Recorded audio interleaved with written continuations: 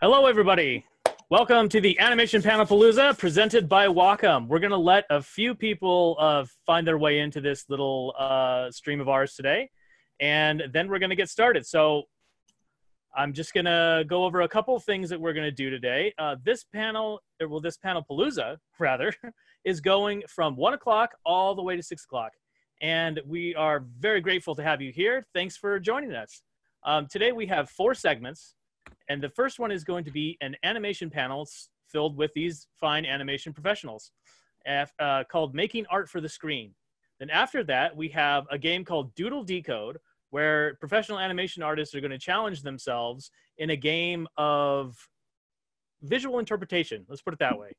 Um, afterward, we have a game called Trivia Mash, which is going to be straight up animation trivia and animation history trivia. Afterward, we will be having our Ultimate Pictionary game, which is a Pictionary, but the words are a little bit less tangible. So we are going to go ahead and get started with our first panel uh, in a couple minutes. So we're just going to chill out and hang out and welcome you as you come in. I see Michael Kolowski. Well, the, the names are coming up too quick. Sabine M. and Yeah. Alejandro Ixia and Katie Zhang and Adam Gold and Chris Read Prouty. fast, dude. Yeah, they're way too fast. They're all joining way too fast. I saw can't- Carlos and I can't keep- Angela, Mac, Over. got Jimmy, Juan. Oh boy, that's so many people. I'm on and Alex and Jasmine and Jensen and Robert and Elizabeth and Sam and Jason and Carlos and Lauren and Kunal and oh Kunal, I think I know Kunal. Um, Sam Flores. Dude, and- right? Well, I, I was teaching a class that had Kunal in it, if it's the same Kunal. And Sam Bull and Lisa and Kofi and Talia and John oh, John's here. and Sandra and Paul and Molly. So Oh thank my you guys all for joining us because and this is this is a lot of people. Yeah, This is very exciting. this is neat. I didn't know how the chat was gonna work. It's so cool that we can just kind of like read it here. Yeah. So we're gonna give everybody a few more minutes to uh, to come on in, and then we're actually gonna start our panel at about 1:10. Uh, we're gonna be taking uh, we're gonna be taking questions from the chat, and uh, we're gonna be answering you guys' questions about animation and about how animation is made, and what all we need what all you need to do um, to make your work really stand out. Um, and tips and tricks on things to look for when you're actually making your artwork for for the screen as opposed to for print or as opposed to for the web etc etc so we're just going to chat amongst ourselves for about uh, another uh, seven minutes and let everybody kind of come in and filter in and then we will get started Cool. Nice. Already a lot of participants. It's really exciting. I know. Hi, Yeah. everybody. Yeah, I see somebody like, like Nick says he's busting out a notebook for the first time in forever. I was Good gonna for you, say Nick. y'all should totally doodle while you watch. Yeah. I- I Absolutely. might get we've already got out. a couple of questions too Awesome. Nice. That's the way to do it. And the Wacom staff is going to be on top of the chat and answering you guys' questions, and they will hand the questions in to us when uh, we are ready to answer all those questions. So keep them coming, you guys. And um, we are going to try and answer them to the best of our ability. And if there's any examples that we have uh, just lying around in all of our stuff, then we will uh, put those up on screen. Hey, Mike, it's Doug. Uh, somebody's asking if the panels will be available later to download. Um, that's an Elizabeth or Tom question. It'll all be on YouTube. Check it will YouTube. all be on YouTube. All six wonderful hours. Yes. Love it. Thanks, Oh Tom. boy. Even the commercial breaks. Oh man, I- those are my favorites. I also see you got a you got a, a compliment here, Mike, uh, from Raquel. Love your background. Oh, thank you, Raquel. Those are all Mike. Yep. Oh, Mike, you made them? Yeah. Dude, they The- look great. These were taken from the larger picture, um, which was we did for promotional, which I did for promotional art. So I can so like nice. try and move out of the way a little bit. You gotta make your chair disappear, dude. I can't make my chair disappear. Well, sucks. Yeah, I knew I went into the wrong thing. I should have got into sleight of hand magic. Not too late. It's not too late. It's yeah, not. right. I could rebrand myself and be the the animation magician. Yeah, there you go. That's a great idea. You could animate like things going on behind you, like Gertie the dinosaur. You could be. Mm. Oh yeah, Oh yeah, that'd be cool. yeah. Get some of that vaudeville action happening. There you go. Then you get uh, your own shot at Magic Castle, and Oh, yeah, then everyone bothers you for passes to Magic Castle. right? well, it's. I guess that's better than everybody bothering me to go to Disneyland. That is So- true. Yeah. Hey, Mike, every- by the way. Yeah, every Disney employee knows the Mhm. the yeah. because it it starts as sort of a look like, mm, hey. I mean, they um, ask you that until you fi- until you tell them that you have to go with them, and then they're like, "Oh, never mind." yeah. Uh, I've never gotten that. They love having me with them. no, it's one of those things. Yeah, I, I've had that before, where it's like, oh, you mean I can't just go and you can make a phone call or something? And it's like, mm, no, not really. But Yeah. Then you have to explain the concept of blackout dates, and oh, yeah, Gosh, that's the worst. I didn't even know that was a thing until I moved out here. Yeah, because apparently Disneyland has a capacity, and uh, That's so Guy- wild. this guy called the fire marshal has to come out when it's too full. Yeah, who do they think they are being fire, fire marshal? Don't they know they have their own fire station on Main Street? yeah. yeah, Pluto's the fire chief. Come on, or, or, Yeah. or Goofy. Goofy's the fire chief. oh man, it's Goofy's fault that there's a limit to the amount of people you can have in Disneyland. That's a bummer. Yeah, yeah. Goofy Yeah. ruined it for everybody. You'd think like he'd be really lax with the rules, being so rather unintelligent. But we love Goofy, and he makes me laugh. So Gosh. I I was actually on on Ducktales. Uh, the episode just came out, I believe, that had Goofy in it. That's so sick. Hmm.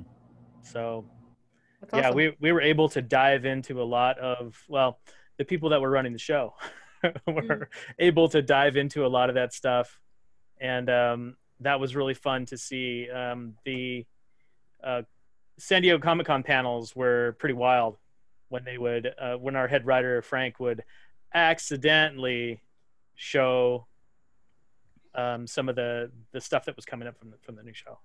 Oh my gosh. But all right, so we're getting the all all clear to go ahead. So let's get our panel started. Um, let's go through and all introduce ourselves. Uh, Pete, why don't you start us off? Oh, okay. My name is Pete Michels. I'm currently supervising director on a brand new show at Netflix, which has not been announced yet, so I can't really talk about it. But um, before that, I was uh, supervising on um, Future Worm with Mike. Uh, I was uh, supervising director on Rick and Morty for season one and two. Uh, directed on Family Guy, directed on Simpsons, and a whole bunch of pilots and Rugrats, and a whole bunch of fun stuff that I've been fortunate enough to work on in my career. Uh, Vicky, why don't you go next? Hi, everybody. My name is Victoria Ying, and I am a visual development artist. I uh, worked at Disney for eight years and Sony Pictures Animation for one. Um, my film credits include Tangled, Frozen, Wreck It Ralph, Big Hero 6, and Moana. Uh, currently, I'm a graphic novelist, and my first book, City of Secrets, Oh, there you go. comes out. Uh, so, this book comes out July 28th. So, uh, check it out in stores everywhere. Hype. And we're going to be putting uh, links to everybody's socials in the chat. So um, feel free to follow them and you know check out City Secrets. Uh, Karli, why don't you go next? Hi, I'm Karli. I'm an animator, so I've done things like work on Mr. Pickles season four slash Momma Named Me Sheriff, animated on Midnight Gospel. I did retakes on Central Park. Um, and yeah, I just kind of draw a lot of weird things, get paid to do it, and it's great. I draw front butts, and you can't take that away from me. and I am Mike Morris. I am a storyboard artist and director, and I've worked on shows like The Simpsons, uh, Future Worm with Pete, uh, which was a joyous experience, and a show called DuckTales, which is uh, going into its third season and having uh, new shows coming out all the time. So that was a, a, really cool thing. And then on to my next adventure. But currently, let's talk about this adventure. We have a panel here, and we have a lot of very interesting questions coming through in the chat. So, first of all, we have a question from Arlette Franco, and I'm just going to throw this out to everybody first. Um, is it better to focus on one skill or to have a diverse set of skills in a portfolio? I can answer that. Um, so, you know, I looked at a lot of portfolios when I was at Disney. We looked at, you know, a lot of the training and internship portfolios. And, you know, we get that question a lot like, which is it better to focus on? Should I be good at everything or should I just pick one thing? And I think that the truth of the matter is you should be completely authentic to yourself and to your own art. If you hate doing backgrounds, don't do them because we can tell when you hate something. So just be absolutely like true to whatever it is that you like because character designers, at least a, a uh, Disney feature. So let me preface this by saying all advice is autobiographical and everything that I say is going to be from my own point of view in terms of my own experience. So um in feature studios, character designers and background and prop designers, those are separate jobs. Um, I was a generalist, which meant that I did props, backgrounds, and sometimes characters and costumes but uh, the character designers pretty much just did that. So if you want to focus on character design, that's absolutely a valid choice to make. And you know, if you like doing backgrounds and props, then absolutely make your portfolio very broad. That's what I did. I really liked backgrounds and props, and I like doing characters. So my portfolio is very diverse, but it doesn't mean that it's the best type of portfolio. They really like to see someone who has passion and authenticity in their work.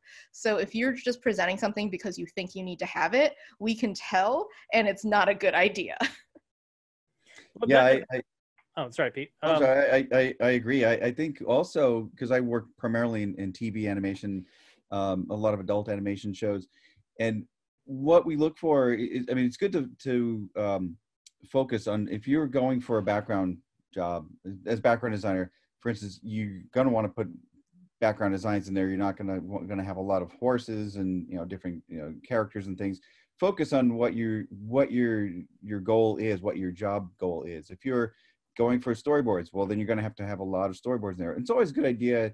And I, have I've had different uh, heard different things from different supervising directors too. Like I I know one says I don't look at you know people put life drawing in there. I don't even look at it. I hate drawing life life drawing. I don't want to see it. I don't want to. But I know why other people put it in there. I personally like to see it because it tells me that you can draw and I, I, I, it's easier for me to cha- train you in a specific style of a show than it is for me to give you basic drawing uh, uh, uh lessons.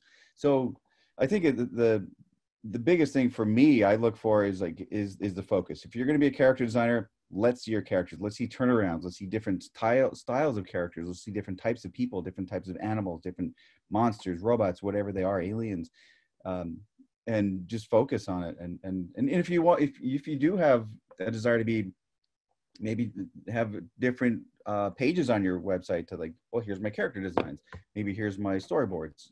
Because you might be uh, interested in doing a bit of both. I mean i my own personal experience is i i kind of i started as a background artist on the simpsons and then went from there to character layout to storyboards to animation timing. I just kind of asked questions along the way. So i kind of was absorbing every bit of information. I think that helped me become a director. As a as someone whose career is a lot younger and as someone who's less experienced, I would definitely say that um, you really do want to focus on the one thing that you want to do, and you want to hone your passions in on that, and then focus on expanding outwards because um, I, I, know like when, when I was a student, right, and I was looking to get into the animation industry, um, my, my animation industry friends would be like, okay, well, what job are you looking for? And I'd be like, oh, well, I could totally do anything. Like, I'm just up for whatever. And that's not, that's not helpful. Like, so even if your portfolio might um, have a bunch of different things in it, which is good to be a well-rounded artist, but you can't just say, all right, well, I want to be a storyboarder and I want to be a character designer and I want to go do, go do backgrounds. Like you kind of just have to choose one and go with it. And if you don't like it, then it's okay to switch. It's okay to start over and decide that you want to do something else. But um, yeah, I would definitely say like try to hone in on one thing to get your foot in the door. And then if you want to branch out after that, then go for it. But you've got to have the stuff in your portfolio. Uh, can I add to that? I also think that like you can have multiple portfolios. Yeah. So you can have a storyboarding portfolio and you can have a background portfolio and you can have a character design portfolio. If you want to go for all those different jobs, that would probably be the way to do it because that way the recruiters they know like okay well you're applying for this job i understand because this portfolio is very focused um, but you know it, it, again it depends on what you like to do if you hate backgrounds don't do them but at the same time like when you're presenting your work to somebody it should feel focused and it should feel like we understand what job you're applying for Yeah, and I, and going back to your authentic authenticity point, um, Victoria, there's I don't know. I feel like there's so much um, carbon copy culture going on right now, where people aren't necessarily bringing what they personally bring to the table. They're bringing what they think other people want to see to the table. absolutely Um, and it's like having a conversation with somebody who's always trying to um, like anticipate what you're going to say and then trying to say it before you do. Um, yeah, and I also think that like a lot of people get really caught up in copying a style, especially of a specific artist. Like if you're like, oh well, I know X person works at Disney, so I'm gonna make my portfolio look exactly like their work. And the problem with that is Disney already has that person. Like they don't need a second one. What they need is your unique voice. They need someone who's going to bring a different answer to the table. And if you all you can do is kind of just duplicate what other people do, then that's not really a strong designer and that's not somebody who is really going to help grow the studio and grow kind of the the, the visual voice of the, the, the studio. Yeah, and, and for storyboards, if you're going for a storyboard position, you're gonna want to have a variety of stuff because it, it is different. Even in TV animation, I look for different things for an adult animation show than I would for a kid show. As different sensibilities, different styles. So I'm looking at your portfolio as casting in a way. Whereas if I see realistic perspective and realistic human characters, I know okay that'll be good for for this show, but maybe not necessarily for a, more stylized um, graphic looking show. So it's it's a hard sell to have a is. portfolio that's got like a grizzly bar fight in it, and uh, you're casting for a pre-K. yeah, exactly, exactly. Like maybe leave out the the booby girls with the armor on it if you're applying Right. for like like a preschool Yeah. show. Yeah. yeah, if you're pri- right, exactly, exactly. If you've worked, if you've worked on Rick and Morty and and Family Guy and Big Mouth, well, then you're gonna want to, you know, you know, be particular about which ones you're gonna show. But show, you know, something that has. But really, what I'm looking for is is the staging, the storytelling, um, the performance of the characters. With you know, tell that story in in your storyboards and and and have a variety of like different scenarios in your storyboards like with not just like people sitting on the couch and here's another one of people sitting on the couch there's another one show a variety of, of different stagings that you need to do Okay, let's go to the next question. Um, there's a, a few questions in here about tools. Um, specifically, are we going to go over anything from Wacom, or are we going to be going over programs like Adobe and Clip Studio? Um, there's a couple other ones that are like, uh, what kind of tools do you guys use to to do your work?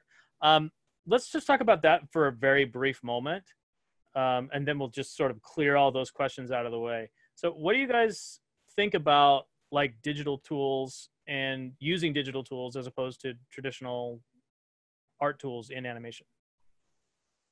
I mean, I think generally speaking, like digital tools have just sped up the process. Oh, the recording stopped. Oh. Anyways, um, yeah, so I think that like, you know, digital tools have really helped speed up the process. Like I don't draw on paper anymore because it just saves me a step. I don't have to scan or take a photo of it. So um, I draw almost entirely straight into Photoshop. I use a Wacom 21 inch Cintiq at home and uh, Photoshop is pretty much my main tool. Um, I do also use something called Comic Draw on my iPad, which helps me with my graphic novels. i use a hammer no, No, It was really I- weird in the Future Worm office my first couple of weeks. You'd hear this bam, bam, bam, bam coming from the Yeah. office, and yeah the it guys were getting on my case too much so i had to stop breaking equipment but yeah i use i have uh i actually have a, an, an older model 21 ux uh, wacom tablet which still works great. I have no issues with it. Still works, works great. But i use i do love the um the the newer ones we have at, at the office when we right now we're out of the office working from home. But i do miss the uh the new one which has you know the wider screen and has it's a lot um, more responsive. But i think originally because i started working on paper uh, and we were doing storyboards on paper and scanning them and, and it was you know full of post-its and scotch tape and it is so much easier just to to use because we use Storyboard Pro for TV animation. Some productions use uh, Flash. I know BoJack Horseman was using Flash. Some uh, will also use Photoshop and for storyboards. But Storyboard Pro seems to be by Toon Boom seems to be the uh, current industry standards. But also, I, have heard Features also uses uh, Flix. I think it is. Um, so there's other there's a lot of different programs out there. I I am so used to Storyboard Pro. I I kind of use that as as uh, my Photoshop now too. But but I also use um, it does help to have to use um, SketchUp for visualizing backgrounds and rooms and and different things. So you can visualize like where to put the camera and what's going to be seen through that door things like that. But um, um, yeah the biggest thing for me i thought was going to be learning how to draw on a screen uh, that making that transition. But the biggest tra- the biggest issue with the transition from going to paper to to digital storyboards for me was the files. It's it's so hard to keep track of the files which one is the original and you have to make sure you constantly version up and keep keep on top of that and really um, know which one is the latest version because with the paper boards it was easy. The one with scotch tape and post-its all over it that's the original. Everything else is a xerox copy but with digital files it's so hard to tell if you make one change you don't want to have to go through a whole act of storyboards to find like wait was this the new one or is this you know so always make sure to update your files Yeah. Yeah, when, when they change uh, version numbers in the middle of a production. yeah That's that Yeah. that nice uh, little bit of week is fun. Yep. Um, especially for the revisionists and people that are having to update all the files. yeah yeah. yep exactly yeah I would definitely say that Intern. like oh, I'm sorry, go ahead. Oh, go ahead. I was just making Oh. a comment. I would definitely say that like the biggest challenge for like digital files is that you have to version up. You have to know the naming conventions and you have to name your files correctly because if you can't read your files, then the rest of the entire pipeline is not going to know what files you're working with. Um, but in terms of like software and stuff, I mean, I still draw on my sketchbook like all the time. I'm actually drawing right now. Um, but it's just, it's fun to doodle. But I mean, I, I love my Cintiq. I love drawing on it. Photoshop is great. Harmony is great. Um, but it, it is important to be able to have those like foundational traditional drawing skills because um, the computer is meant to help make your life easier when you draw. It's not meant to cheat you out of those foundational skills. And I think you can get really lazy if you don't pay attention to um, some of that because the Mhm. computer makes it so malleable. Like anything you do makes it so malleable.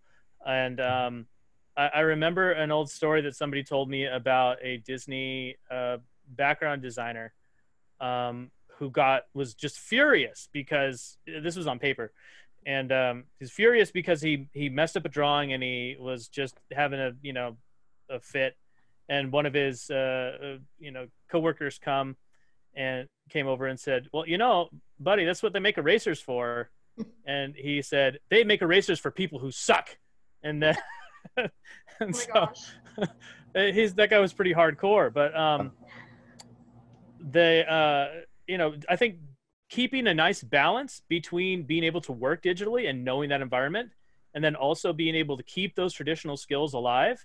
I think that balance is is paramount, and I think that your your uh, traditional work is going to push your digital work to other places, and your digital work is going to inform your traditional work as well, because you may discover different methods of uh, methodologies of working. All right, let's go. Sure. Ne- next question. All right, I'm almost done with college. Where would I need to go to get art jobs? I'm not great at animation. I see a lot of positions open for software developers, senior animator, etc. Things I can't really do. I uh, draw very well and draw characters, but I don't know if that's good enough.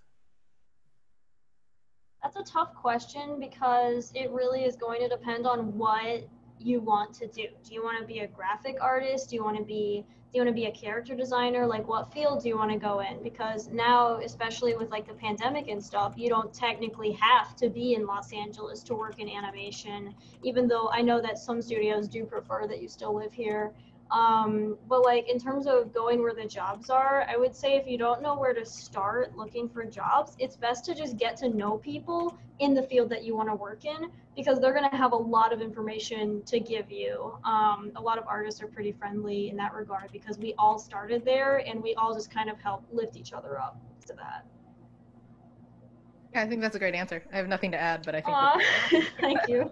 It is. It, it, it your network is so important, and I, I, because I also teach uh, some college classes, and I, I tell everybody like, look around you. These are your peers. These are your the people that's your network. This is your network to start off, and your network Mhm. is going to grow as everybody, you know, gets out there in the field. You know somebody who knows somebody, and a lot of times I'll get jobs through people I know. Will call up and say, hey, or, or email and say, hey, are you available? We're starting this new show. We're looking for people. So that's that's the biggest step. But to, but to start that network, a lot of times, depending on it- yes, it, depends on what you want to do. A lot of times you might have to take a test. The uh, Animation Guild's a good resource for that. Depends on where you live too. Uh, the Animation Guild has a list of studios. There, um, um, depends on where you live too. If you're if you're in Canada, I see there were a lot of Canadian um, posting. Um, there is a large animation community in Toronto, Ottawa, Vancouver, even uh, Nova Scotia, Halifax. There's studios everywhere: Ireland, Mexico, South America, India. Um, you know, even New York, Chicago, Texas, even. So um, you don't necessarily have to move to LA. Um, union wise, it's it is a local, so there's there's that. But um, but yeah, the, the biggest thing is is to get yourself known. And and there are studios, smaller studios that look for people. Have an online presence is the biggest thing I hear from studio executives. If you have an online presence, you're starting out and you're putting your own drawings up there, your own style, developing your own style, that gets noticed. So keep keep doing that. I, I think the one thing I would add is like your your skills are not static. So like even if you're not confident where you are right now, that doesn't mean that that's where you're going to be forever. So like if you need a stopgap job right now in order to build up your skills so that you get the job you want, then that is absolutely a valid career move. You don't have to get your dream job right out of college. If you're Mhm. if you feel like oh well, I want to be a storyboarder but I don't have storyboards, there's a lot of classes that you can take online in order to build that portfolio, and it's okay to like not get a studio job right away you don't have to take something that you don't want to do like software development or whatever just because you feel like oh well i need to be in a studio Yeah. you don't you Yeah. you can definitely take the time and develop your skills so that you get the job that you actually are after and not get distracted and kind of like down a path that you didn't intend to I would like to Oh. share something. That's a good moment. I'd like to share something if, if I can, Mike. Yeah. Uh, um, a lot of times you're you're you- you're going to need to take a test, whether it's a design test, a storyboard test, a character test. I had to take a, a I was going for character layout. My first job on The Simpsons. I was going right out of college uh, from UCLA, and I wanted to get a job doing character to, character layout. Well, I had to take a test, and here I'm going to share with you now uh, what that first drawing was from my very first test uh, compared and next to it um, is I corrected it years later. Uh, if you look at the difference, the Homer on the left is my my character layout test, and you can see why they didn't hire me. Oh yeah, And- that's uh, that's some season one stuff. It's pretty bad. It's it's horrible. Even for season one standards, it's terrible. Uh, I would not have hired me. Um, and I took the test twice. So, it, and I never got hired as a character artist from that test. I guess what I had a background in there that, that I could show that I could do perspective. So I was hired as a background layout artist, and then and then I started to learn how to pose characters, how to break characters down. And then years later, I thought I found this drawing. I was like, I could do it. Let me see. I can just draw over that and see what happens. But That that's so cool. uh, yeah. Just uh, don't be discouraged. You will get there. You will get there. hmm I would say too that if you can get your hands on any kind of test, like even if you totally bomb it, like the studio is not gonna hold that against you. Like I've I've taken I've tested for Big Mouth uh, two years in a row now, and I don't get the job. And you know I I slowly get better, I slowly improve, and they're not gonna say no, your test sucked, so uh, you're never testing for us again. Yeah. No, they they like seeing the progress. Yeah, definitely. That's that's the other thing I would say. Like, you know, some people are afraid to show their portfolios to recruiters because like, well, it's not good enough now. And actually, like recruiters really like to see growth. If you change year over year and for the better, then that's something that they'll actually look at and be like, oh, this person's actually like taking notes. They're growing. They're actually being like a malleable source, someone who's actually like gonna be very useful in the long run because you know that they can grow. So any chance that you can get in order to like get feedback, take a test, whatever it is that's possible, even if like never be afraid that someone's gonna be like, oh, well, you failed once. And that means forever in my mind you are this person. Yeah. Like. Recruiters and art directors look for growth and you know, if we're like, oh, I remember that guy from last year, and wow, this is a lot better. Like Yep. that is actually very much a mark in your favor. Yeah. Yeah, except for unless you're that one guy that spilled coffee all like all over their electronics, then they'll remember you for that. Um, Yeah. Let's Hmm. let's go to a different question. How do I increase my chances of being accepted into internships? Hmm. I mean, the problem with internships is that they are so competitive. You know, like there are so many people applying for them, and at a certain point, you probably have like a thousand submissions and maybe like 20 people who can get it. You know, they're all about the same level, and then you can only pick one. So then how do you stand out from that those 20 to be like okay well these are the 20 that are good enough. Which one are we going to pick? Sometimes it's just random chance like oh we're working on a tiger movie and this guy has a drawing of a tiger in his portfolio. You can't predict that and you can't don't try you know? The, the mm-hmm. only thing that you can do is again come back to authenticity. Do exactly what it is that you love to do and if it's unique and if it's something that they're actually looking for and they're like oh this guy has a unique voice that's the thing that's going to stand out like people that i noticed were people who actually did things that weren't necessarily animation based like my portfolio that put put me into the training program the thing that they liked from me was actually my fashion illustration. And fashion hmm. illustration that wasn't like animation focused or anything like that it was just a very unique style that they hadn't seen before and when i reviewed portfolios people that would stick out in my mind were people who like had some cool ceramics in their portfolios. Like it wasn't totally relevant. They'd be like one or two little images at the end. But the fact that they kind of were unique and they actually were you know everything that they did was done with passion and with heart like that's the thing that's going to put you over the top. And also the fact that they even got to the end of your portfolio says a lot because like sometimes if you if you do this uh, thing in your portfolio where you're going to show your growth by putting your worst drawings up front and like building up to the crescendo at the end? No no no no no no no. Bad move. You want to uh, start that portfolio off with a bang. You want to say boom i'm here. I have this awesome bit up front. And then you put like first uh, first picks second picks third picks and then maybe at the end you'll put another one of the the higher picks Yeah. to sort of cap it off and then the weakest stuff towards the back So And- yeah, definitely start strong and end strong. That's definitely something. And also, you're only as good as your worst piece. So whatever your worst piece in your portfolio is, that is the measure by which we can be like, okay, that's how good they are because they thought this was good enough to put in here. Yeah. So look at your portfolio and be very critical about which pieces that you are not confident of because that's the ones that are going to stick out and be like, okay, well, this person maybe doesn't have taste. Yeah, and, and I was going to add to to add to that to be brutally honest with yourself and your portfolio. Like, really ask yourself, it do you know I might like this piece, but is it really good enough? Is it really my best piece? And and be really honest with yourself. And you know sometimes it might come down to something um, simple that's not even drawing. It just might be just a sense of humor that you show in your in your in portfolio, or even you know something that uh, I know my my wife when she got um, her she was working on Simpsons also. She had a a children's book. it was right out of college and she had a children's book in her portfolio that was a project from school where you had to take an existing children's book and alter the illustrations make it something completely different. And that's what got her noticed. It wasn't her drawings or anything. It was just like she took this and had this twisted sense of humor on this children's book and that got her noticed. So it might just come down to something like that. And, and it's it, it you're right. It is very it, it's hard to pin down and and predict but it could be just your you know your passion and your personality that stands out. Okay. Let's see. Uh, here's a question. It's a little nebulous, but if we could just make quick work of this one. Um, what would I need to get those jobs? How good do you have to be? I mean, that's a little nebulous, but I mean, I would say that as good as you can possibly be. I mean, there's no standard by which, like, how good you have to be.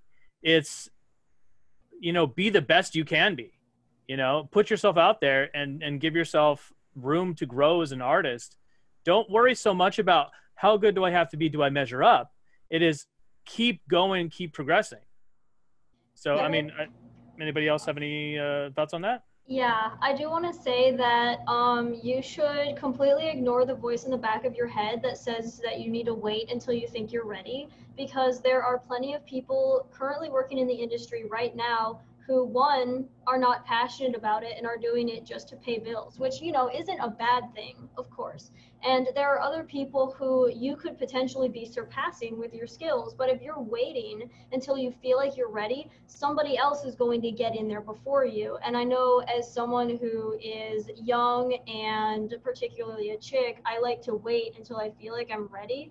And it's scary to put yourself out there, but sometimes you just have to be cocky. You just have to go for it because if you don't go for it, you could have got a job, but instead they gave it to someone else who is possibly not doing the job that you would be able to do. So I would just Yeah, say, just get get rid of that voice. Get rid of it. Sometimes entitlement can be good. You know, it definitely helps you Mhm. stand up for the things that you actually deserve and makes you go for things that maybe are a little out of reach. And sometimes, like, you never know what'll happen. Yeah, Um, like but you're for- passionate about it. You deserve the job. Yeah, absolutely. You you know what? deserve it. Um, I mean, the thing about how good you need to be is what I did, and I recommend to a lot of people, is to look at the art of books of the studio you're trying to apply for. So if you want to apply for DreamWorks Animation, look at the DreamWorks art of books and see how does your work measure up. Because it's going to show you exactly what these studios value. The pieces that they put into those books are like, these are the things that we think are good, right? So if you can actually pick up a book from like Pixar or Disney or DreamWorks or you know any of the you know like the BoJack Horseman book or something, you can kind of see like okay, well this is the quality that they're looking for, and mm-hmm. does my work measure up? And you know if it doesn't, that's not a bad thing because again, you're not static. You can keep growing. And you know for me, I always kind of like to have something like that open as I'm doing work in order for me to be like, okay, is is it good enough? Does it match that in quality? Not necessarily for style, not necessarily for subject, but quality. So, you know, I think that that's a really great way to do your research. And if you're going for an internship or training program thing, most people announce that. You know, everyone's excited. They like get on their Tumblr and like, hey, I got the Disney internship. That's awesome. But you know, the other great thing about that, you get to look at their portfolio and be like, oh, that is what got into the Disney internship program. So then now you know exactly what the level is that they're looking for. So those are kind of some ways that are like practical to try to measure up your own work to see if you can actually get these positions that you're looking at. and All right. confidence. Confidence is very important all throughout your career because there's going to be a lot of times we all of us as artists uh, are, are very um, uh, I don't, want to say thin skinned, but we, it, we we can't help but take criticism personally. So if you're not getting a job, it's like, well, there must be something wrong. With my, and you know, I look at when I first started, I was uh, thrown into this whole studio. Like a whole lot of people were way better than me, and I was like, what? Why am I even here? I don't deserve to be here. But it's you know, so don't let that discourage you. Learn from that. Like learn from those people. I like, okay, what is he doing that makes my work not as good as his? Why? How can I? And I still feel that today, but um, but o- over time, I gradually got more and more confident that I could do it, and and that's believe in yourself and be confident. Yeah. All right, here we go. Here's another question. Um, I'm gonna throw this one out for for Pete. You can probably just give me a nice succinct answer. We're just gonna do some uh, individual questions really quick. Okay. Okay. So Pete, here you go. This is for you. Okay. How do I make my storyboards more story interesting? Hmm. Focus on what's important in the story. Uh, don't throw a lot of superfluous things in that don't matter to the story. Um, I do like to, to include things where, and it has to be production friendly too. It's like you don't want to have a million cuts and cut to this, cut to that, cut to that. If you can get away, if you can tell that same story with less shots, include things in the background, characters walking in when you're on somebody else, so you don't have to cut to another another story or another uh, shot. Um, but tell the story and don't add a lot of superfluous um, acting and and the the acting will be the performance will will carry that through um, but the story is is the most important. You're telling a story and every little thing is a story. Even just you know not just the big picture of like this happens from the character from minute one to the end of the the, the picture every little thing tells a story like how does a character when they, you have a scene where the character wakes up in the morning well how do they wake up in the morning are they cranky are they are they a morning person are they ready for the world are they like oh, i gotta get my coffee every panel tells a story every pose tells a story so it's you break that down to story story story little bits of pieces of story make one big story Cool. I don't All I right. That's that's great, Pete. Awesome. All right, Karli, this one's for you. Oh boy. Any any tips for walk and run cycles? Those come harder for me. Oh my gosh. Oh, I would, geez, I would just say just keep animating them because they are really hard. Um, but something that also helps, as animators, you're also an actor, so you have to be able to draw the way that you act. So I will, if I'm in a studio and I don't know how to animate something and I can't find a video for it online, I'm going to make an idiot of myself and I'm going to take a little phone video of myself doing whatever walk that I want. And then I'm to pause it every other second and, you know, try to get the scroll thing to go the way I need it to. Um, so I can just copy my own walk cycle frame by frame um, as animators, you learn by observing people. If you see someone with a really cool walk cycle, just like out in public, kind of make note of their, um, just like the unique things that they do, the way that they move, so you can incorporate that later. I would just say, like, take reference. Walking is hard, and you don't have to, like, vary up the frames at all. Like in the animator's guide, the survival guide, it has, like, um, man, I don't even know, like what, like a 12 frame, 16 frame walk cycle. You don't need to change that. It's it's good. It's solid. It's not considered like copying. You just gotta make it make it your character. Put your love into it. Cool. All right, Victoria, this one's for you. There's uh, I'm gonna combine a couple of questions here from uh, one person. So, what does it mean doing props? Okay. Um, is there multiple questions to that, or just yeah? And the other question was, do degrees matter? I'm going for my associate's degree. A lot of positions are pretty intimidating. They want the best of the best, but I need somewhere to start. Okay, uh, degrees don't really matter. Your work matters. No one actually cares where you went to school or what yep. degree you have. A lot of people I know dropped out of college in order to get jobs because they were good enough. You know, and that's really what school is for. School is for you to have that space in order to work and learn and get better. The degree only matters to your parents that's that's just true. Those are the only people who are going to give a shit about your degree. Um, in terms of props, like, wait, I'm sorry. Can you repeat the props question? Um, what they just want to know what does it mean to do props? What does it, oh, yeah, what, does it mean to be a prop designer? Yeah, being a prop designer basically means like any object that a character can hold or interact with.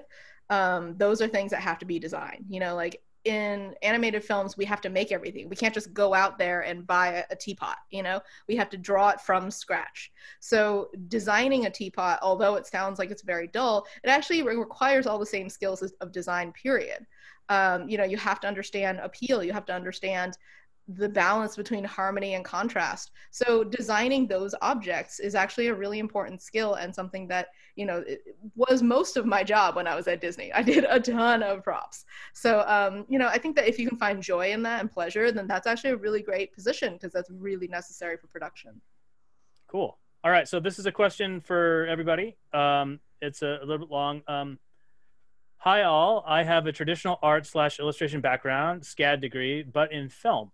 Worked professionally in video design and marketing for 10 years, but now would love to break into character design, storyboarding, or lighting.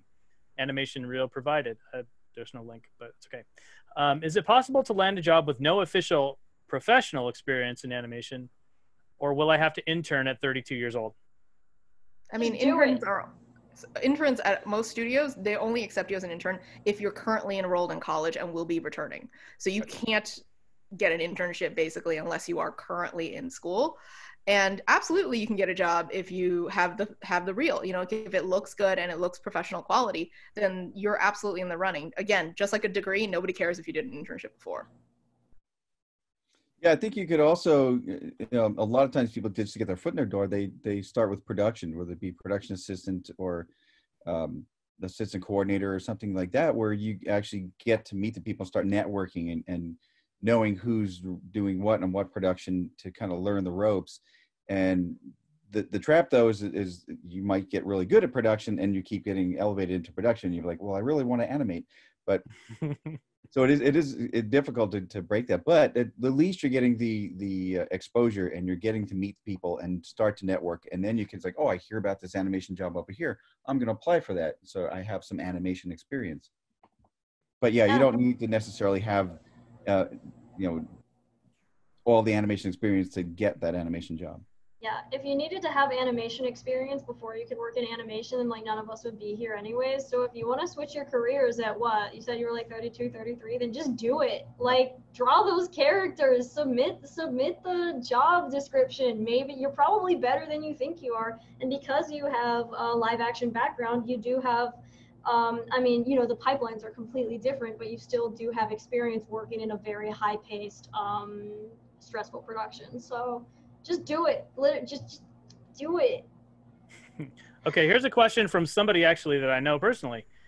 Is it best to move out to LA uh, or an animation hub city uh, to look and apply for jobs at studios, or is it okay to apply from the flyover region of the country? Apply from where you are. Don't move out here until you have a job. That's my advice, anyways. I kind of think it's a good idea for you to just, you can apply from anywhere. As long as you're willing to move, then yeah, That's so funny because my experience was the opposite. Where like, especially in entry level animation jobs, I mean, it's it's very highly competitive, and so studios, unless unle- unless you're like Da Vinci or someone, right, where you're just incredible skill levels, um, studios are more likely going to choose someone who can start work next week, who lives like you know 15 minutes down the road. Or at least, I mean, like that's that's how it's been for me. I personally don't think you should have to live out here in LA, especially, I mean, with all the remote work that's going on right now but um yeah it's it's a tricky it's a very tricky one i'd say if you move to la be careful and don't like room with strangers Yeah, my my experience was a little different because I moved out here to go to school at UCLA. So, um, so I moved out. So I was already out here, but I have heard of. Um, uh, just talking to somebody the other day who said that she she applied for a job at DreamWorks and she got an interview and they said or they called her and said, "Can you come in uh, to um, Monday for an interview?" And she's, she's like, "Yeah, sure," but she lived in Illinois and she didn't tell them that she lived. she was like, yeah, I can come in for an interview on, on Monday. I'll, you know, 10 o'clock, sure. So she booked a flight, came out and got the job. So then she's like, okay, well now I have to move here. But, you know, every case is different. But yeah, it is, it is, um, today, especially with the pandemic going on, every, all of our meetings are all Zoom meetings like this. All of our uh, recruitment meetings and our application meetings and interviews, job interviews are all like this. So you don't have to be in LA. yeah if you're gonna apply to a job and you don't live here don't tell the studio that you don't live here uh, just be prepared to take a flight for an interview or be prepared to just move at last minute but don't don't tell them don't tell them you don't live here um, because I, I think that, that that i mean they, they do prefer just hiring people that can come over from a different studio or down the road or whatever Okay, next question. Um, Karli, you can knock this one out real quick. Any tips on fluidity in character movement and consistency of that movement? Oh geez. Uh, fluidity, I would say um, a great way to break down fluidity in character movement is to actually like restrict the amount of frames that you use to animate.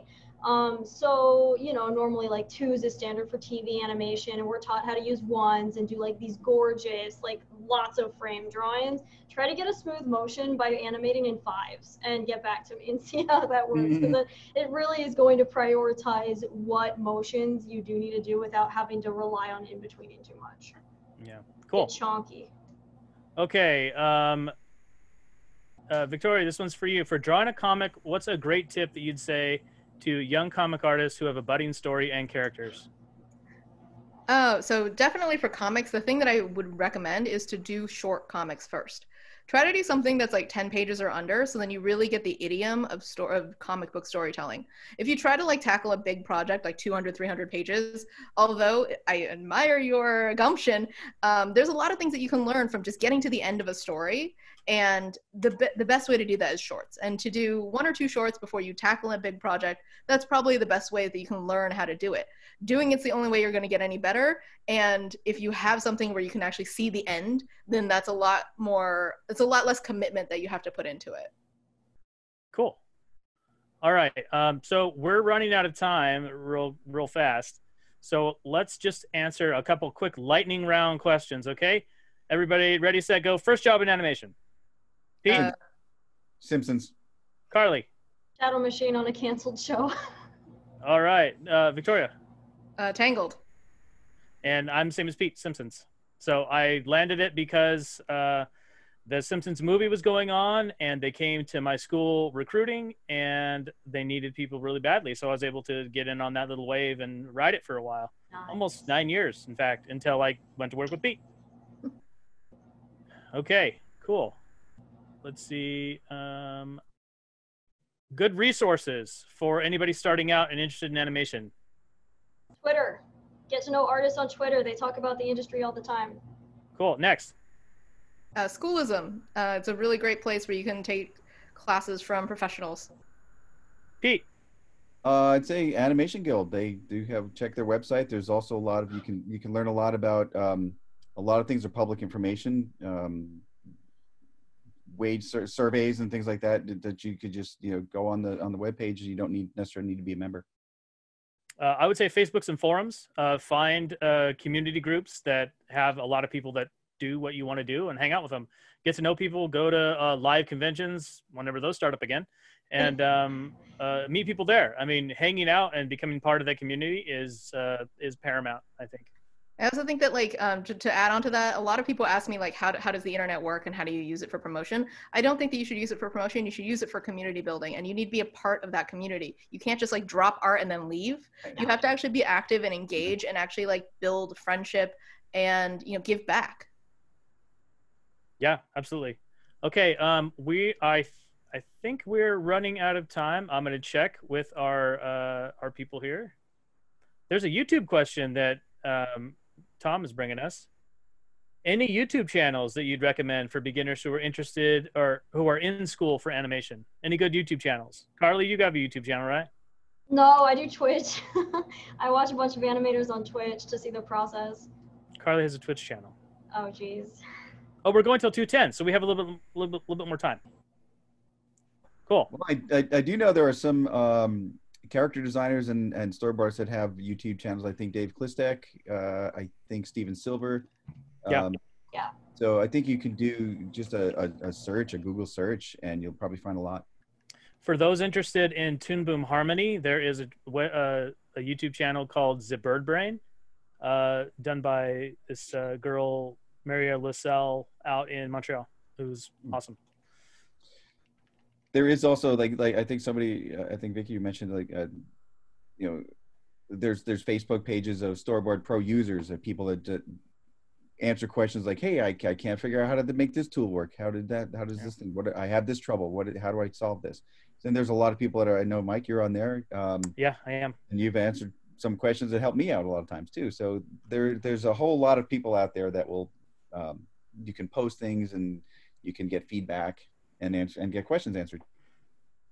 Okay, um, next question. Do you have any recommendations on getting seen? I've got a lot of work I'm proud of, but I'm not too great at getting anyone to view that's outside of my circle of friends. So, Karli, I think since you have uh, a way of getting seen right on top of your head, um, I would say make more friends. Like join a forum, join Twitter, talk to artists that you like. I, I mean, follow artists, follow your peers on Twitter. I mean, like follow your your schoolmates if you have any. Like comment on each other's work, engage, um, learn how to learn how to socialize and present yourself as a professional. But I mean, net- networking is literally just making friends. Like it's just finding artists in the industry that you have a lot in common with. yeah, Um, and and to to that note, finding friends, not finding people that you can use as stepping stones. yeah, there Yeah. we go. like because it's so apparent like if you have somebody who's almost like sycophantish in the way that they're approaching you and then uh like they're not really trying to be your friend or trying to get to know you on a personal level at all they're just trying to see if you have a connection that they can use to almost use you as a vine to swing off of Yeah, and, and and things like LinkedIn, there's uh, that happens a lot where you know people send you like, here's a cartoon pitch idea, you should show it to Justin Roiland and Dan Harmon. I'm like, I'm not gonna do that. So oh yeah yeah, there's I there's hate that. yeah, well there- it's it's like you're almost asking that person to put them in front of you you know Yeah. like because you have ideas uh, pete Right, when we, right. we've had lengthy discussions on on pitching and pitching shows and there's a question about that uh, coming up next uh, but like you are basically saying hey um, i want to skip in line and i want to take all these connections that you've uh, fostered over a number of years and just get in front yeah. Yeah. So it's yeah, you have to be you have to be careful. Okay, so next question. What does it take to create your own TV show? For an example, DuckTales or Steven Universe, etc. Um, so actually, I'm in development right now with Cartoon Network on my own show. Ooh, Oh, I didn't know that. That's awesome. Well, it's it's very new. uh, we we like we're, we're still not announced yet, so that. Um, so yeah, I can't really talk in detail about it, but definitely uh, the thing that it takes is like you have to have vision Like the reason why they want to pick a show isn't because it's a good idea. No one gives a shit about ideas. Ideas are cheap, execution is expensive. So the thing about getting a show in development you know i don't know how to get produced. Like we're still just doing the pilot. But you know in terms of getting development deals at studios what they want to see is that you have passion you have vision and that you're someone who can actually see this through. And you know if you can present yourself as like this is my story. I know how to tell it and i know how to make this to finalize it and bring it to to life those are the types of shows that they're going to pick. Like if just because you have a good idea like there's a million good ideas but are you someone who can actually execute that idea? So that's really what they're looking for. Yeah if you can go the distance because i'm i'm sure there's been a lot of people that they've worked with over the years who have that sort of creative person flightiness that is uh, common amongst a lot of people that they're good as workers they're great as somebody that you have like on a crew but when it comes to them being where the buck stops, uh, they kind of just roll over a little bit. Yeah, you also have to think that they're you're not just selling your idea, you're selling yourself to them too. You're selling yourself as the person who can like like Vicky said, you can get this done. It's like you might have this great idea, but if they don't have the confidence you you to to see it through, you know, that's going to be a factor. They're going to there's going to be issues with that. But um, the thing about pitching is you're also going to pitch it to you're going to get a lot of rejections you're going to pitch it to a lot of places you're going to you, you can even pitch it again next year because there'll be different people in charge. But one thing you don't want to do and i've made, made this mistake you're going to get notes you can say well what if it had a, a dog? And so you can okay i had a dog i'll pitch it again. Like well what if i had, I had a little sister say so I had a little sister. Well you know maybe have, put them in a, in a, in a park instead of a what if they're animals? If you keep changing and changing and eventually it's not your idea anymore and you're you start to lose passion for it. So don't try to predict. I mean, I've had this where like, okay, what if they're in a school setting? Like, okay, I'll put them in a school. Like, no, we don't want schools anymore. Or just to focus on the family uh, uh, uh, aspect. Okay, we'll just change it. Like, no, we want to go back to the schools. And you you go crazy. So stick to your original idea of it and don't feel bad if like somebody doesn't want it. And because you don't know what meetings they had the day before. It's like, we don't want any squirrel shows. You come with this great idea. Was like, I there's a show about squirrels. Like, nope. So don't change it to suit somebody else keep it the way you want it and that will that passion will show through. Absolutely. Like that that's definitely another thing to really emphasize is like your show is your show and you need and i think that like as artists we're all really good at taking notes but sometimes we're too good and then as creators we don't know which notes we need to take and which we need to leave. You yeah. need to know your story and your vision well enough that you can take the notes that are going to matter to you and leave the ones that don't. And if someone doesn't get it they just don't get it. You don't have to build something for them in order for them to make it. What you need to do is commit 100% to what your vision is because you know the thing is that animation is changing. Like we have niche markets now and like mm-hmm. my show is something that is incredibly niche that no one has ever building something for this market before. So you know i was like no one's going to buy this.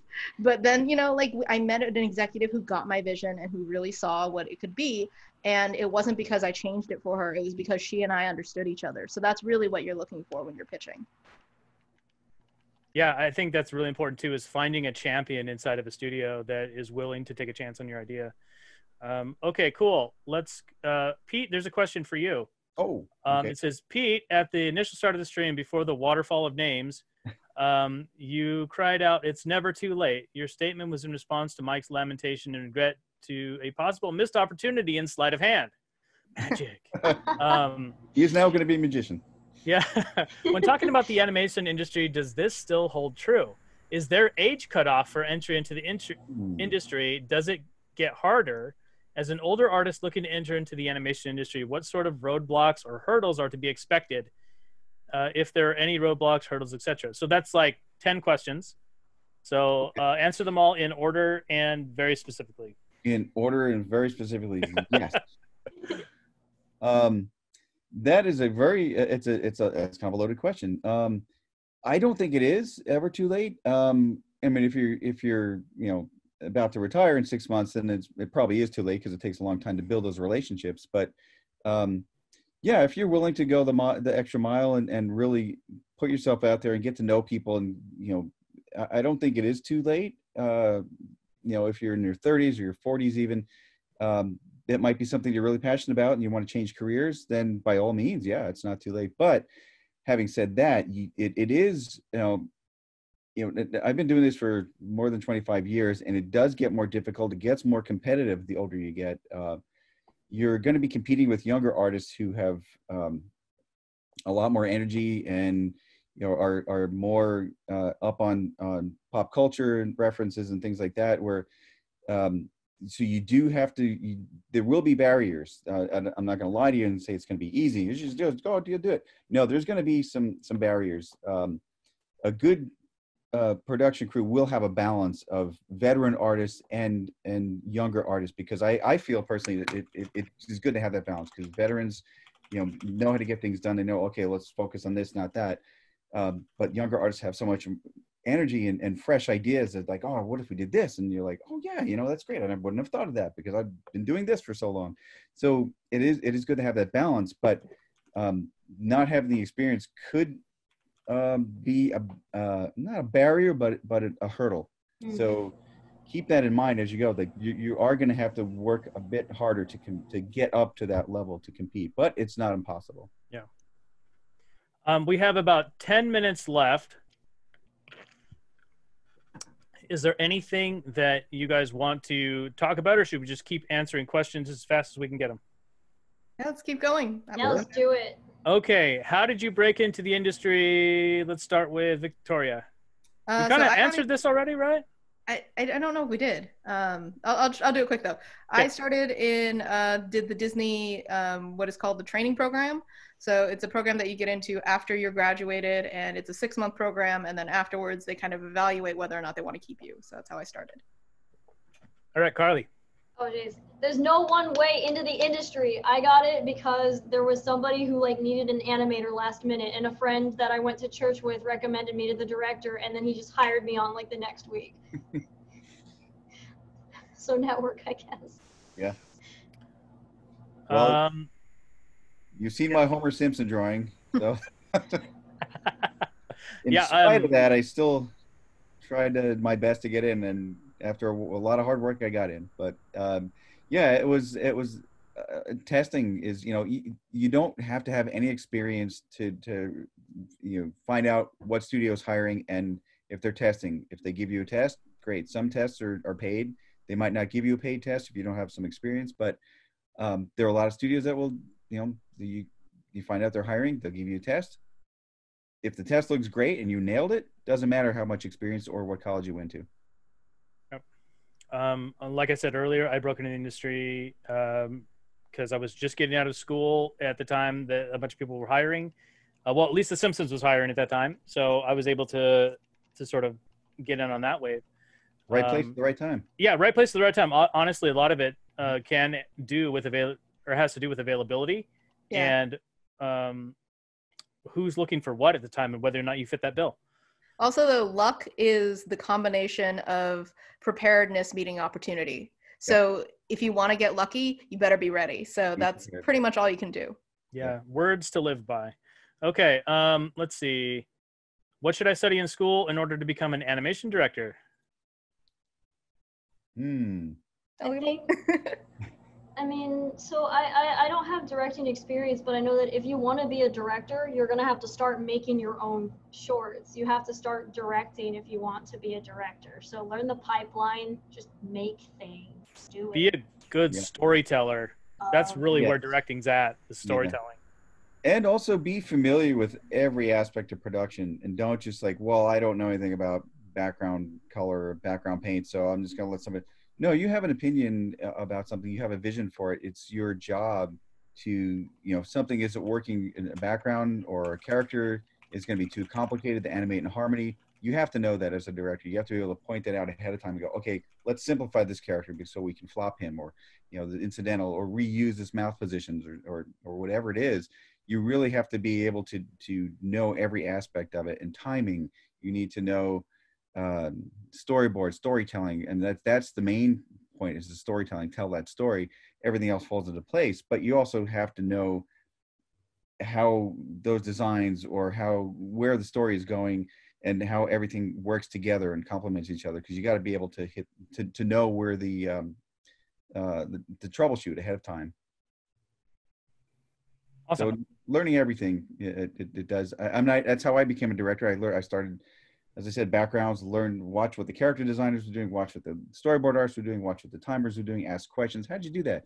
How'd you break down that character? What, why did you put that color next to that color? Why'd you make that blue?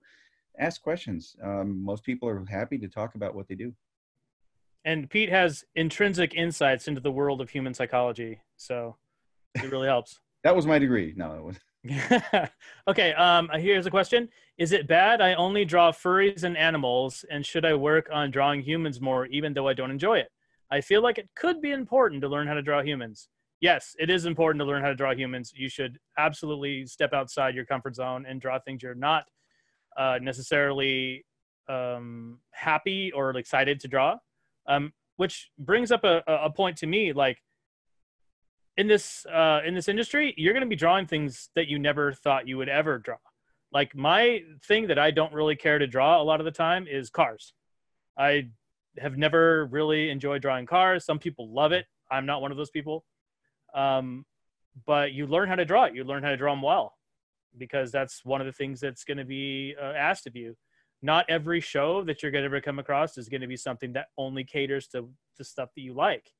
So you know sometimes there's sacrifices like that to be made when you're um, working in the industry I do think that, that that's kind of an important thing to talk about too, though. Like, what are your goals? If you're a furry artist, like, there are ways that you can make a living by just doing that. Like, you can just do the con scene, you can just do commissions.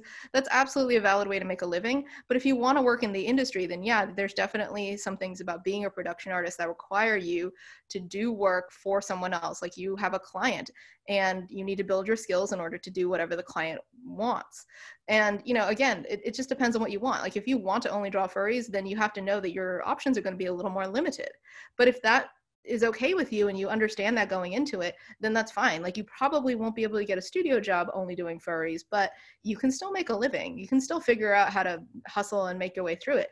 Nowadays, like everything is so dem- democratized and so flattened that like you can run a Kickstarter and just like do that every year and just do your own shit. And that is again very valid. It just depends on what you want. But you should be aware that if you want to work at a studio and you want to work with other people on these big projects, then no, you don't get to draw whatever you want. you have to be good enough to do whatever's asked of you. I would say that drawing furries is awesome and don't draw furries just because people tell you not to draw furries and don't let that get in the way of what you like drawing. Um, I will say that being able to draw animal anatomy is super helpful, especially if you're an animator, because you don't really realize how hard it is to draw like when I was on Mr. Pickles, trying to draw Mr. Pickles, that that is so hard. Like how do his legs even work, you know? So you are gonna have like an advantage when it comes to animal animations, and we do have animators on our teams um, that like usually love animal animations and specialize in that. But you still got to be able to draw people, right? So that kind of sucks. Fortunately, there's a lot of anatomical similarities. Um, so yeah, just just learn how to do it. Just go for it. It's the yep. it's the old uh, Chuck Jones animals wearing a sock, right? You guys ever seen that? yeah. There's there's a, a, diagram that he did in one of his books where it it lays out the actual anatomic similarities between humans and animals, and where the where a human foot and an ankle and toes and and yeah. Um, you know the balls of the feet and stuff how those relate to different animal parts by putting a sock on it and, and, and seeing where the sock like hits you know? yeah. so that was a pretty uh, a pretty interesting uh, comparison. Okay yeah, we got two more minutes left. Um let's see uh, how do you combine art styles fluidly without making it messy in both the art piece and portfolio? Uh, examples amazing world of gumball cartoon cutout 2d 3d anime etc combined so like if you're just a savant and you have a ton of different art styles that you're into how do you combine those fluidly i think that's a matter of opinion in a lot of ways whether or not you can actually combine them and make, make them feel um, cohesive if you want them to be cohesive or if you want them to showcase that you know how to do a lot of different things yeah, I think that's the hardest thing to do is to come up with a style, an individual style. You can't consciously try to do it. I've tried and it, it fails miserably. You just draw what you draw. And, you know, people have asked me, like, what's your directing style? I'm like, I don't know. You have to tell me because it, it, you, you can't really consciously, I'm going to try to make this different than everything else. Like, you just draw what you draw. Pete, we should go on a vision quest together. Yeah. We'll go into the desert. We'll go into the desert and we'll go on a. a we'll get some of those uh, uh those uh, peppers that Homer ate on The Simpsons. I got some growing in the uh, backyard in the pot. Yeah. Ultra hot Guatemalan insanity peppers and go My on a visit. gosh, y'all. Okay. Um, I'm studying 3D animation. and I fell in love with storyboard, but I'm not the best designer. Is that okay? yeah. Yeah. okay, Like- there we go. Yeah. Yeah.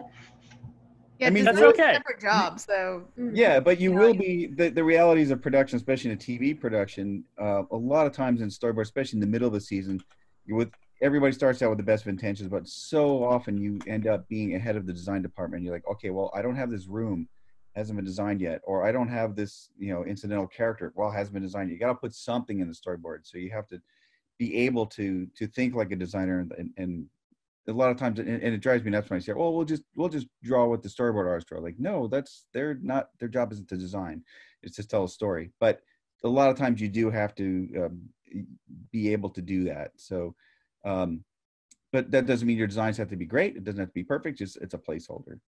Yep. Okay. So with that, we are out of time. Oh. So I would like to personally thank you guys for coming to the stream. It's been awesome. Remember, everybody out in the stream, um, if you see the socials for these fine people, please follow them. Uh, look at their work. Uh, you could probably catch up with Karli on Twitter. She's pretty active, right, Karli? Do it. Yeah. just just Um, hit me up on Twitter. Yeah. Real quick, if somebody wants to find you, what's the best place? Uh, Karli. At Karli Cartoons. Karli with a K R L I Cartoons. Okay. Everywhere. Vicky, Victoria. Uh, so my handles are at Victoria Ying. That's the same on Twitter and Instagram. Also, City of Secrets comes out July 28th. Ooh, you can't see it. There it is. City of Secrets. Yeah. Uh, Pete, what's the best 250 place? pages. Pete, where's the best place to find you online? Um, oh, believe it on PeteMichels.net. I think is that's my uh, my portfolio site. And it's got contact information there. okay, you can find me on Facebook at uh, uh, Animike Art. Um, so facebook.com slash Animike Art. Okay, awesome. And uh, we're going to have a raffle, I believe. Ooh. We are, and we've already picked the winner too. And Oh my looks like gosh. still in the room. It's uh, Demetria Powell. Yeah. Yeah, you won. Congratulations. Congrats. Oh, there you are. Yep. Yeah, I've got your information. Uh, you won an Intuos Pro tablets. I'll be emailing you soon. Oh my gosh, congrats. Snap. Congratulations uh, for our fine winner. And we are going to take a short break while we get ready for the next panel, which is coming up in uh, Doodle Decode. We'll see you guys in 10 minutes. Bye. Hi, everybody. See Thanks, you in a little bit.